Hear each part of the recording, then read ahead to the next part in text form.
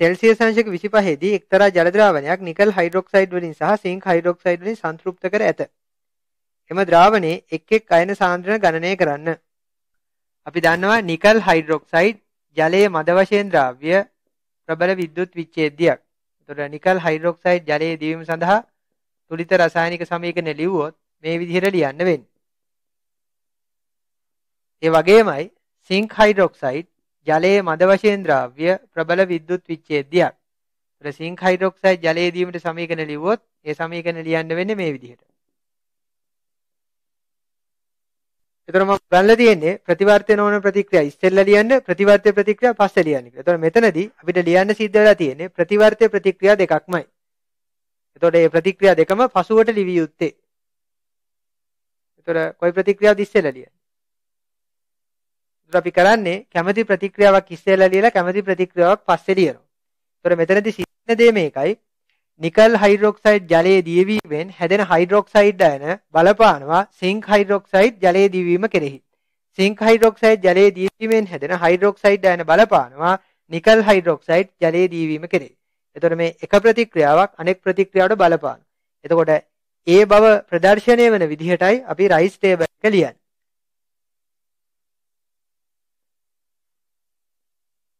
එතකොට ආරම්භක හයිඩ්‍රොක්සයිඩ් යන සාන්ද්‍රණය කොච්චරද? සංශුද්ධ ජලය තුළ සෙල්සියස් අංශක 25 දී ඝන ඩෙසිමීටරයට මවුල එක ගුණ කිරීම 10.7ක් හයිඩ්‍රොක්සයිඩ් යන පවතින.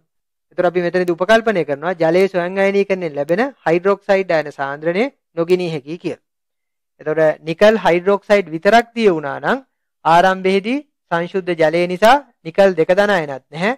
හයිඩ්‍රොක්සයිඩ් යන ප්‍රමාණය නොගිනී හැකියි. ඒතර අපි හිතමු නිකල් හයිඩ්‍රොක්සයිඩ් වල දියවීම ඝන ඩෙසිමීටරයට මවුල x. එතකොට නිකල් හයිඩ්‍රොක්සයිඩ් ඝන ඩෙසිමීටරයක් තුළ මවුල x ප්‍රමාණයක් දිය වුණොත් නිකල් දෙක දනයන හැදෙනවා. ඝන ඩෙසිමීටරයක් තුළ මවුල x ප්‍රමාණයක් හයිඩ්‍රොක්සයිඩ් අයන හැදෙනවා. ඝන ඩෙසිමීටරයක් තුළ මවුල 2x ප්‍රමාණය.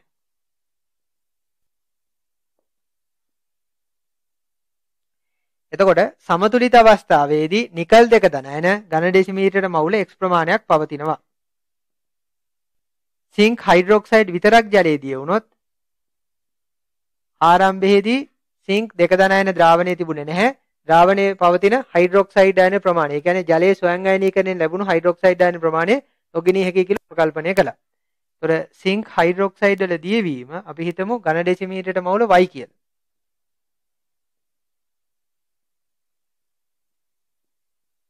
එතකොට සිංක් දෙක දනයන හැදෙන්න ඕනේ ඝන ඩෙසිමීටරයට මවුල y ප්‍රමාණයක්.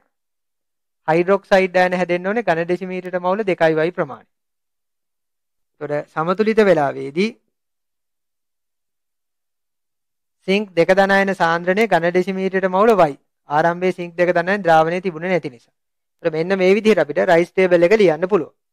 එතකොට මම සමතුලිත වෙලාවේදී හයිඩ්‍රොක්සයිඩ් අයන සාන්ද්‍රණය ලියන්නේ නැතුව හිටියේ විශේෂ හේතුවක් හින්දා.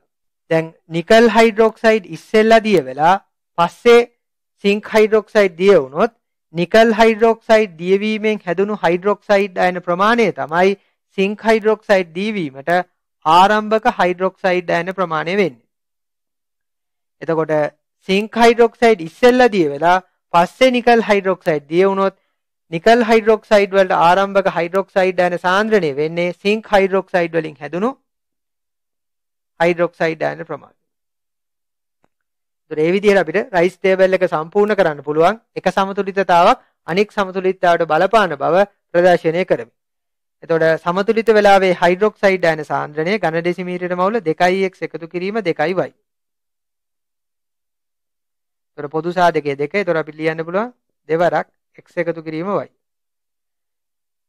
එතකොට හයිඩ්‍රොක්සයිඩ් අයන සාන්ද්‍රණය සමතුලිත වෙලාවේදී ඝන ඩෙසිමීටරයට මවුල 2x එකතු කිරීම 2y ඒ කියන්නේ දෙවරක් x එකතු කිරීම y. මෙන්න මේ විදිහට අපිට රයිස් ටේබල් සම්පූර්ණ කරන්න පුළුවන්. එතකොට මේ විදිහට රයිස් ටේබල් ලියපුවාම පැහැදිලි වෙනවා නිකල් හයිඩ්‍රොක්සයිඩ් වලින් හැදෙන හයිඩ්‍රොක්සයිඩ් අයන සිංක් හයිඩ්‍රොක්සයිඩ් වල ජල ද්‍රාවිතාවට බලපානවා. සිංක් හයිඩ්‍රොක්සයිඩ් වලින් හැදෙන හයිඩ්‍රොක්සයිඩ් අයන නිකල් හයිඩ්‍රොක්සයිඩ් වල ජල ද්‍රාවිතාවට බලපානවා. දැන් අපිට පේනවා සමතුලිත වෙලාවේ නිකල් දෙක දනයන සාන්ද්‍රය ඝන ඩෙසිමීටරයට මවුල x. දැන් අපිට ලියන්න පුළුවන්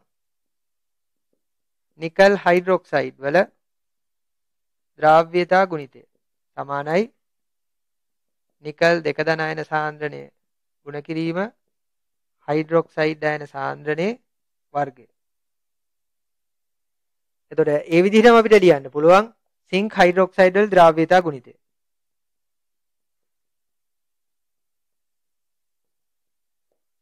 ජලීය සිංක් දෙක ධනායන සාන්ද්‍රණය ගුණ කිරීම හයිඩ්‍රොක්සයිඩ් යන සාන්ද්‍රණයේ වර්ගය.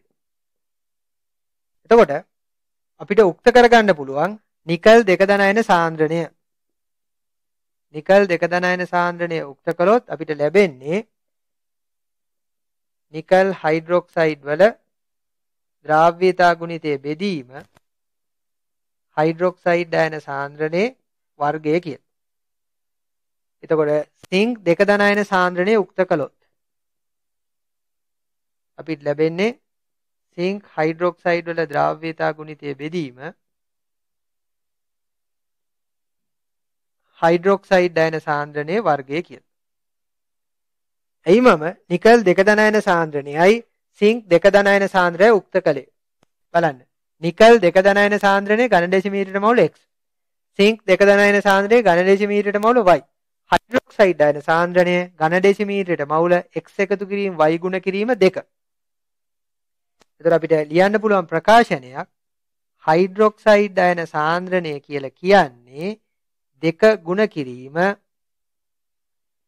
නිකල් දෙක ධන අයන සාන්ද්‍රණය එකතු කිරීම සිංක් දෙක ධන අයන සාන්ද්‍රණය කියලා.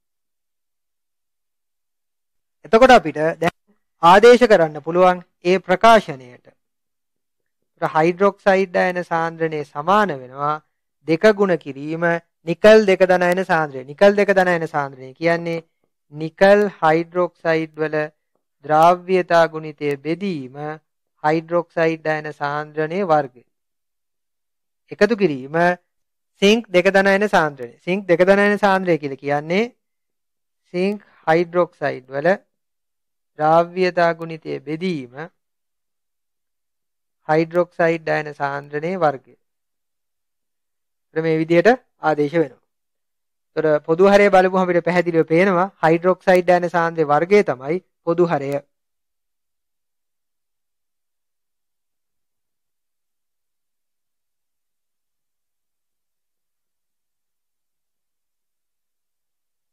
දැන් අපිට පුළුවන් මේ සමීකරණ දෙපසම ගුණ කරන්න හයිඩ්‍රොක්සයිඩ් ඩයන සාන්ද්‍රණයේ වර්ගයෙන්. ඒතර අපිට ලැබෙනවා හයිඩ්‍රොක්සයිඩ් අයන සාන්ද්‍රණයේ තුන්වෙනි බලය සමානයි. දෙක ගුණ කිරීම නිකල් හයිඩ්‍රොක්සයිඩ් වල ද්‍රාව්‍යතා ගුණිතය. එකතු කිරීම සිංක් හයිඩ්‍රොක්සයිඩ් වල ද්‍රාව්‍යතා ගුණිතය. දැන් අගයන් ආදේශ කරන්න පුළුවන්. නිකල් හයිඩ්‍රොක්සයිඩ් වල ද්‍රාව්‍යතා ගුණිතය අපිට දීලා තියෙනවා. ඒකක සමග අගයන් ආදේශ කරනවා. සිංක් හයිඩ්‍රොක්සයිඩ් වල ද්‍රාව්‍යතා ගුණිතය අගයත් අපිට දීලා තියෙනවා.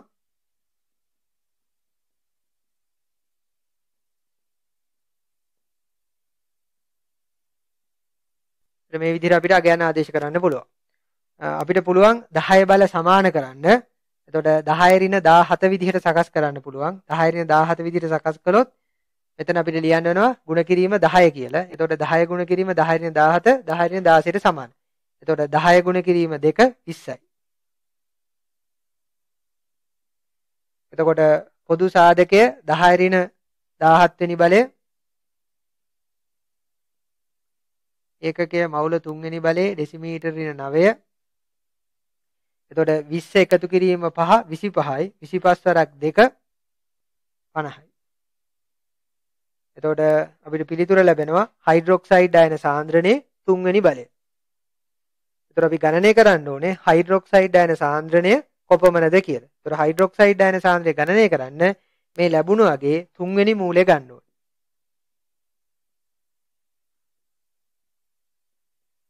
එතකොට හයිඩ්‍රොක්සයිඩ් අයන සාන්ද්‍රණය ගණනය කරන්න මේ සංඛ්‍යාවේ තුන්වෙනි මූලය ගන්න ඕනේ 10 ඍණ 17 වෙනි බලයේ තියෙන්නේ. ඍණ 17 තුනෙන් බෙදන්න ඕනේ තුන්වෙනි මූලය ලබා ගැනීම සඳහා. එතකොට ලැබෙන්නේ භාග සංඛ්‍යාවක්. ඒ නිසා අපි මේ දර්ශකය හදනවා 10 ඍණ 18 වෙන්න. එතකොට 10න් ගුණ වෙන්න ඕනේ. 10 ගුණ කිරීම 50 කියන්නේ 500යි. 10 ඍණ 18 තුන්වෙනි මූලය. ඒ කියන්නේ 10 ඍණ 6යි. මවුල තුන්වෙනි බලයේ තුන්වෙනි මූලය මවුල දෙසිමීටරේ 9 වෙනි බලයේ තුන්වෙනි මූලය දෙසිමීටර් ඍණ තුන්වෙනි බලය. එතකොට 500 තුන්වෙනි මූලය නිර්ණය කිරීම සඳහා අපිට ලඝු ගණක පාවිච්චි කරන්න පුළුවන්. 500 ලඝු ගණකය 1.6යි 9යි 9යි බිඳුව. එතකොට තුන්වෙනි මූලේ අපි ලබා ගන්න ඕනේ 500. ඒ නිසා ලඝු ගණකය 3ෙන් බෙදනවා. 2ට 3 ඒවා බිඳුවයි දශමතිත 26ට 3 ඒවා 8යි 8 වරක් 3 24යි. 26න් 24ක් අඩු වුනහම දෙකක් ඉතිරි. එතකොට 29යි. 29ට 3 ඒවා 9යි. 9 වරක් 3 27යි. 29න් 27ක් අඩු වුනහම 2යි. 29යි. 29ට 3 ඒවා 9යි. 9 3 27යි. 29න් 27ක් අඩු වුනහම 2යි.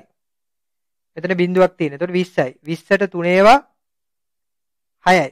6 වරක් 3 18යි. 20න් 18ක් අඩු වුනහම 2යි. අකට බිඳුවක් දාපුවම 20යි. 20ට 3 ඒවා 6යි. එතකොට පස්වෙනි දශම ස්ථානේ 6 පහට වඩා විශාලයි. ඒ නිසා හතරවෙනි දශම ස්ථානෙට එකක් එකතු කරලා වට යනවා. අපිට කියන්න පුළුවන් 0.8යි 9යි 9යි 7 තමයි 500 තුන්වෙනි මූලයේ ලඝු ගණකය. දැන් අපි ප්‍රතිලඝු බලන්න ඕනේ 0.8යි 9යි 9යි 7. එතකොට ප්‍රතිලඝු බලපුවාම පිට ලැබෙන්නේ 7.9යි 3යි 8.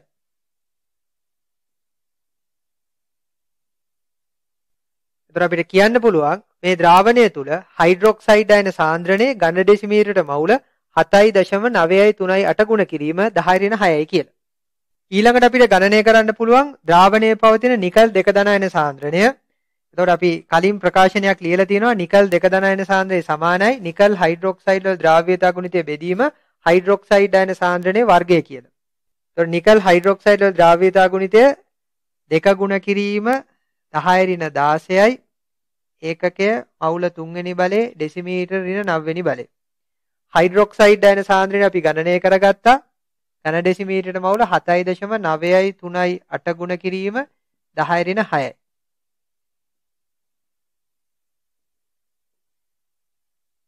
එයාගේ වර්ගය.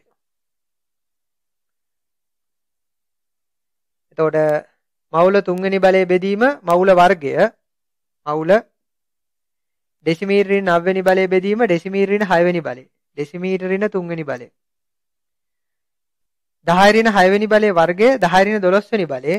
ඒතර 10 ඍණ 16 වෙනි බලයේ බෙදීම 10 ඍණ 12 වෙනි බලයේ. 10 ඍණ 4 වෙනි බලයේ. එතකොට ලවයේ තියෙන 2 හරේ තියෙන 7.9යි 3යි 8 වර්ගය. ඒතර දෙක බෙදීම 7.9යි 3යි 8 වර්ගය. එතකොට 7.9යි 3යි 8 ලඝුගණක බලන්න ඕනේ. ඒ ලඝුගණක දෙකෙන් ගුණ කරන්න ඕනේ. වර්ගයනේ. ඒ නිසා දෙකේ ලඝුගණකේ 0.3.1 ඊට පස්සේ ලවයේ ලඝුගණකේ හරේ ලඝුගණකේ අඩු කරන්න ඕනේ ඊට පස්සේ ප්‍රතිලඝු බලන්න ඕනේ එතකොට සුළු කරපුවාම ලැබෙනවා 3.1යි 7යි 4 ගුණ කිරීම 10 ඍණ දෙවෙනි බලය එතකොට 10 ඍණ දෙවෙනි බලය ගුණ කිරීම 10 ඍණ හතරවෙනි බලය 10 ඍණ 6 වෙනි බලය එතකොට මේ ද්‍රාවණය තුල නිකල් දෙක දනයන සාන්ද්‍රණය ඝන ඩෙසිමීටරයට මවුල 3.114 ගුණ කිරීම 10 ඍණ 6 වෙනි බලය වෙනවා. එතකොට මේ ගණනය කිරීමේ මුල හරියේදී අපි ලියලා තියෙනවා සිංක් දෙක ධනායන සාන්ද්‍රණය සමානයි සිංක් හයිඩ්‍රොක්සයිඩ් වල ද්‍රාව්‍යතා ගුණිතය බෙදීම හයිඩ්‍රොක්සයිඩ් අයන සාන්ද්‍රණයේ වර්ගය කියලා. ඒ ප්‍රකාශය පාවිච්චි කරලා අපිට පුළුවන් සිංක් දෙක ධනායන සාන්ද්‍රණය ගණනය කරන්න. සිංක් හයිඩ්‍රොක්සයිඩ් වල ද්‍රාව්‍යතා ගුණිතය යගේ අපිට දීලා තියෙනවා. පහ ගුණ කිරීම 10 ඍණ 17යි. මවුල තුන්වෙනි බලේ ඩෙසිමීටර් ඍණ 9 වෙනි බලය. එතකොට හයිඩ්‍රොක්සයිඩ් අයන සාන්ද්‍රණය අපි ගණනය කරගෙන තියෙන්නේ ඝන ඩෙසිමීටරට මවුල 7.9යි 3යි 8 ගුණ කිරීම 10 ඍණ 6 වෙනි බලය. එතකොට ඒ යගේ වර්ගය. මවුල 3 වෙනි බලය බෙදීම මවුල වර්ගය මවුල ඩෙසිමීටර ඍණ 9 වෙනි බලය බෙදීම ඩෙසිමීටර ඍණ 6 වෙනි බලය ඩෙසිමීටර ඍණ 3 වෙනි බලය. 10 ඍණ 6 වෙනි බලයේ වර්ගය කියන්නේ 10 ඍණ 12 වෙනි බලය. එතකොට 10 ඍණ 17 වෙනි බලය බෙදීම 10 ඍණ 12 වෙනි බලය. 10 ඍණ 5 වෙනි බලය අපිට සුළු කරන්න තියෙන්නේ පහ බෙදීම 7.9යි 3යි 8 වර්ගය. එතකොට පහේ ලඝුගණක බලන්න ඕනේ 0.6යි 9යි 9යි බිඳුව 7.9යි 3යි 8 ලඝුගණක බලන්න ඕනේ. ඒ ලඝුගණකේ දෙකෙන් ගුණ කරන්න ඕනේ වර්ගය නිසා. එතකොට මේ සුළු කිරීම මේ ගණනය කිරීමේදී කරලා තියෙන්නේ.